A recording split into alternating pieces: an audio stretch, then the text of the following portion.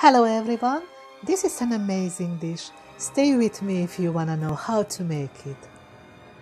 I did some research on the history of goulash. I see many of you have still made goulash as a thick stew. Goulash means herdsman. Its origin dates back to the 9th century.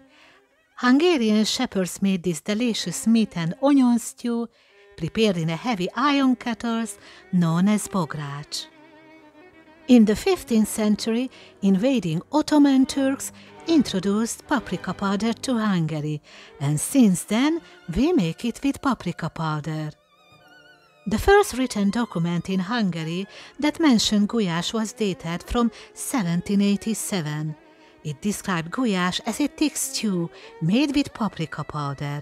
However, over the next hundred years, goulash has changed a lot and the thick stew became a soup. From 1886, we can find recipes and documents that the Hungarian goulash was prepared and served as a soup, just like how you can see in my video. Our neighboring countries, however, are still make goulash more like a stew, because Germans took the original stew recipe from Hungary in the early 1800s.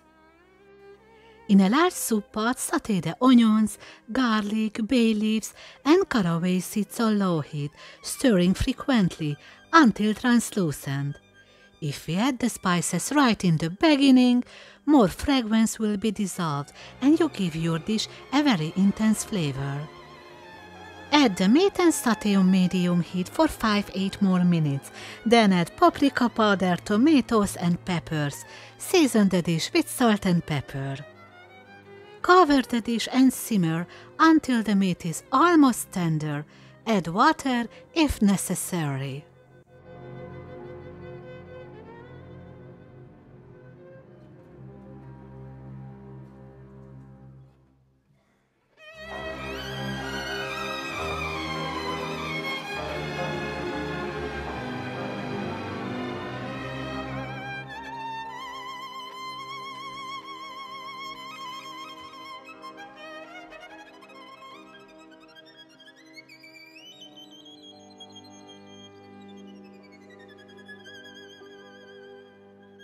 For the csipetke in a medium bowl, mix together egg, salt and flour.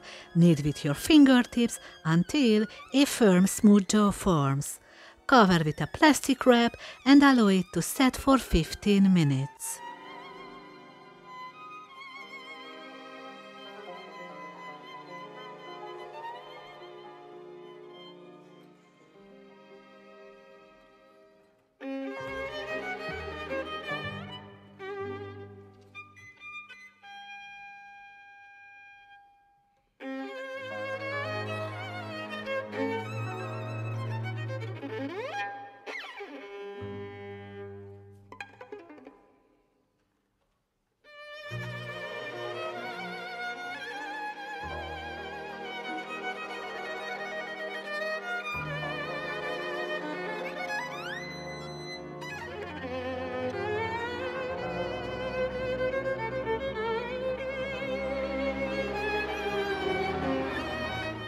Add the sliced carrots, parsley root, and potatoes. Pour over enough water until it fully covers the vegetables. Bring back to a boil, reduce heat, and simmer. Season the dish again with salt and pepper and paprika powder.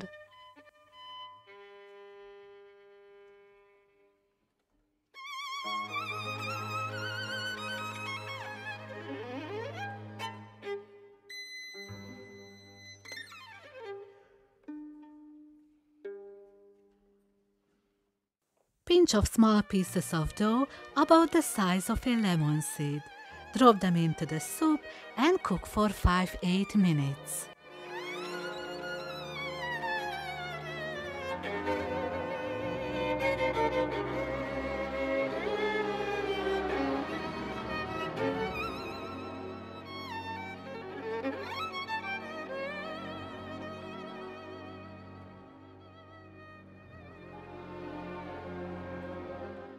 At the end, decorate your dish with chopped parsley and sliced peppers.